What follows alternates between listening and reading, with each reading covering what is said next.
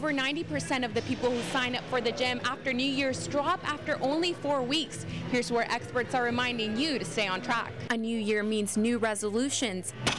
Fitness manager at TrueFit, Randy Garza, says he sees a large influx of newcomers around this time of year. But unfortunately, sometimes they set goals too high to keep up with. They'll set these high expectations on themselves, and they probably heard of other people, or they see these um, TV ads saying that you could lose 20 pounds in 10 days. So they hit these expectations of losing this weight really quick.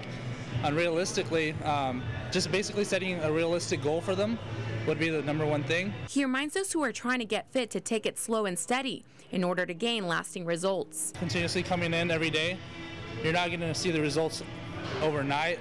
Uh, it obviously takes work inside and outside of the gym, but we're here to definitely help them out to make that a smooth transition so that they're able to see uh, a lifestyle change. And making that change could help those not only looking to get fit, but those who have been diagnosed with diabetes. A lot of times people don't know that they're in a danger zone in terms of their health, so trying to attack it now before it gets worse later on, especially especially in young adults. I mean, I meet many kids, uh, 17, 18, uh, up to 22 years old, that are high risk of diabetes because it runs in their family.